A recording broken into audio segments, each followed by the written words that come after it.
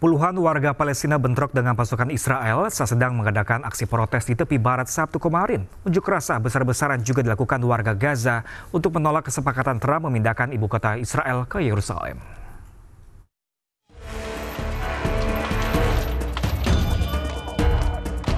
Warga Palestina terlibat bentrok saat sedang menggelar aksi protes di tepi barat menentang rencana perdamaian Timur Tengah yang digagas Presiden Donald Trump.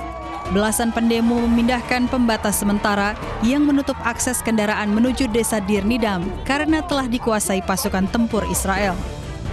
Para pendemo kemudian melempari pasukan Israel dengan batu.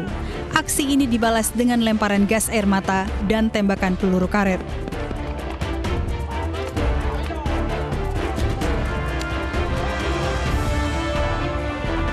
Di kota Gaza, ratusan pendukung Hamas berunjuk rasa Jumat lalu.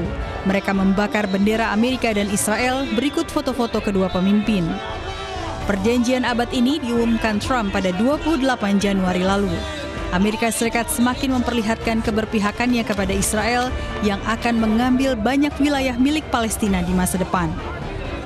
رسالتنا أننا مستمرون في كل الفعاليات والأعمال والمواجهة الشاملة لإجهاض وإفشال صفقة القرن التي نحن على يقين أنها ستفشل وتكون في مزابل التاريخ إن شاء الله.